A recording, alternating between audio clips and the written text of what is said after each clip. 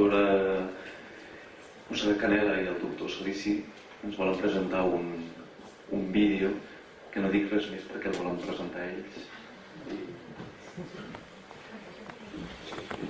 Molt.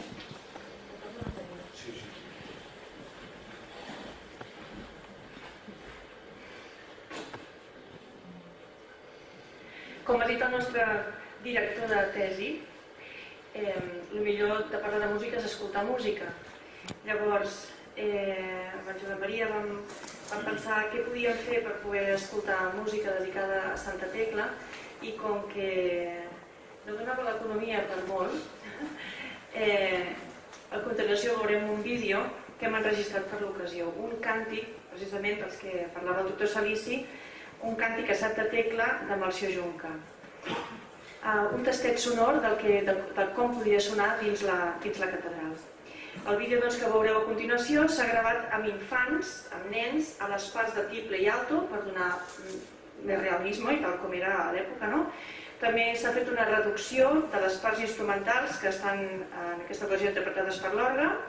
El contrabaix ha seguit la línia melòdica de l'acompanyament i, com dic, l'ideal hauria estat comptar amb els altres sis instruments que es presenten a, a l'obra, però mm, doncs, per manca de, de suport econòmic no, no, no, no s'ha pogut fer. De manera que hem enregistrat aquest vídeo um, de manera amb gent que de manera altruista ens ha ajudat, no? Molts dos músics professionals, cantors aficionats, filmadors, editors d'àudio i de vídeo, tots són alumnes, companys, professors i amics que van acceptar de molt bon grat la proposta que Josep Maria i jo els, oferíem.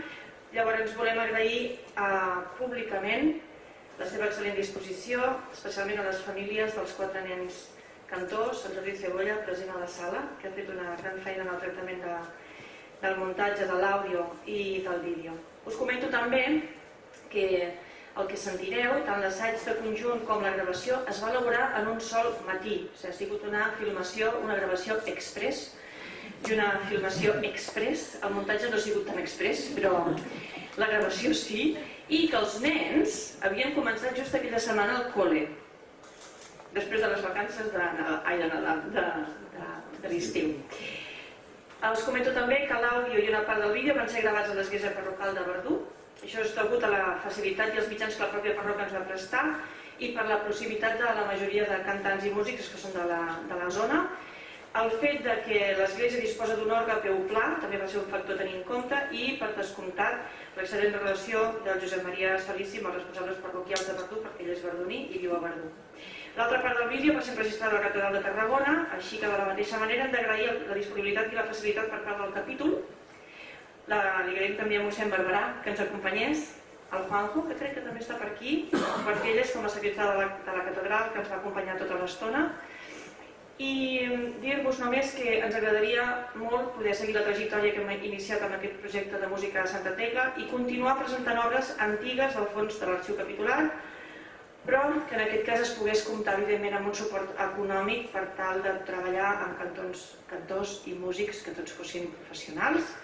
És una crida que llancem Santa Tecla Gloriosa, Mare dels Tarragonins, a les institucions aquí presents, a veure si ens il·lumina, i, i ja està, deixo de la paraula al Salici. Bé, gràcies Montse.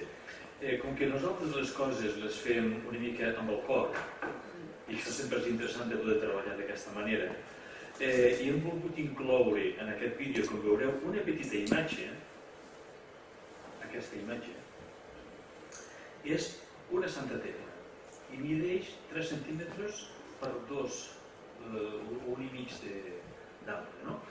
És un esmalt que està incrustat en aquest reliquiari. Aquí, aquí doncs hi ha l'esmalt. El reliquiari és de l'any 1397.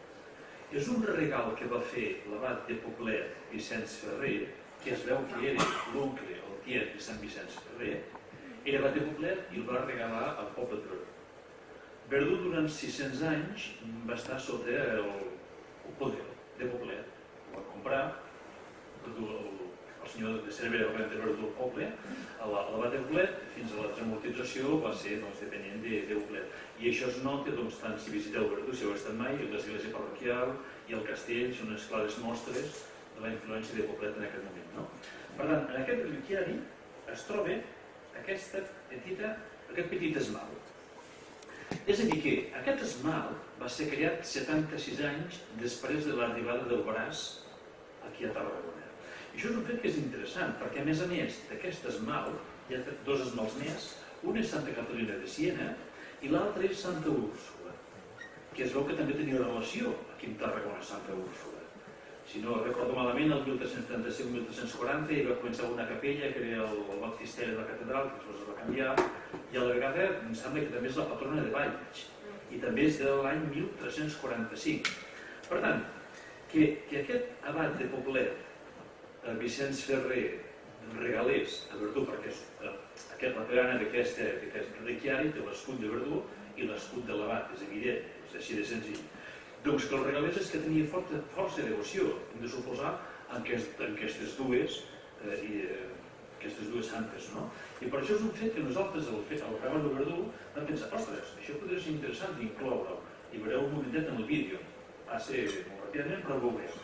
A la vegada que tothom s'estima el seu, jo soc de i m'estimo el meu, doncs aquí a Tarragona hi ha també un personatge que va ser destacat que, que està enterrat en aquest mausoleu és Joan Teresa Borrull, que va ser eh, bisbe auxiliar de, del Marroc, de Còrdoba, va ser bisbe d'Elna, bisbe de Tortosa i va ser arquebisbe de Tarragona, el rei de Catalunya, i segons diu un confessor de Felip III. Aquest personatge, que doncs, sembla ser que va fer, eh, entre altres coses, l'impulsor de la creació del bisbat de Solsona, l'impulsor de la canonització de Sant Ramon de Penyafort, i també sembla que va ser un dels impulsors que va crear, que en aquell moment va impulsar l'Estudi General de Tarragona, que s'hi vendria posteriorment, que seria la universitat. I aquest senyor doncs, eh, va fer crear les dues capelles que hi ha, la de Sant Joan Evangelista i la de Sant Fruitós, un Sant Tarragoní, i el seu mausoleu està posat entremig de les dues capelles, si no recordo? Per tant, en el vídeo ens ha plagut molt de poder posar aquesta itineratge com a relació entre Verdú, Tarragona i Santa Teresa i és el que veurem. Esperem que el vídeo us agradi. Eh, toc de la Montse, ho hem fet amb un matí. I això que és d'admirar, eh, la gent s'hi ha volcat moltíssim i llavors esperem que us agradi. Moltes gràcies. Podem tancar una mica els llums? Estan aquí. Primer que és